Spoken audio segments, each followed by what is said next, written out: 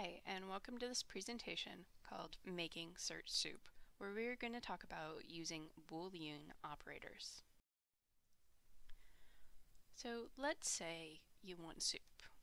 You have an egg, you have a lemon. You do a search for egg and lemon, and you find avgolemono soup. This is a Greek soup, and both egg and lemon are ingredients in it.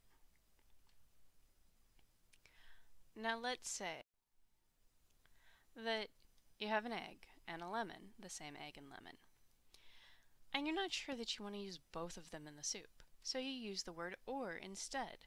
That would find everything, egg or lemon. You would find egg drop soup, avgolemono soup, lemon orzo soup, and many, many others. So let's say you have an egg, not a lemon. This would help you find things like egg drop soup that has egg in it but not lemon. You can use these terms in any sort of combination.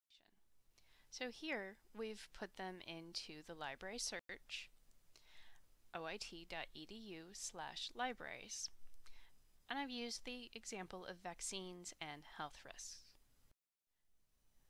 Another would be vaccines or inoculation, inoculation being a synonym for vaccine.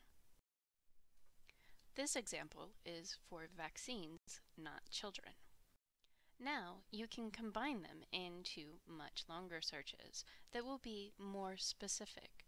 Here we have vaccines or inoculation and cows, not children.